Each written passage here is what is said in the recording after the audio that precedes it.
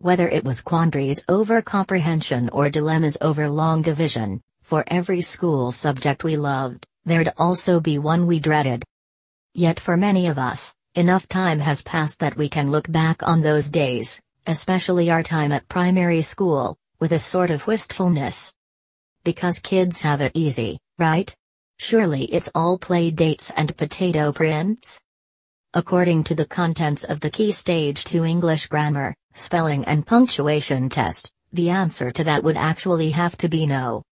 New tests, implemented by the government to demonstrate changes to the KS2 curriculum, will evaluate the knowledge of children of ages 7 to 11 on aspects of grammar such as the active voice, modal verbs and preposition phrases.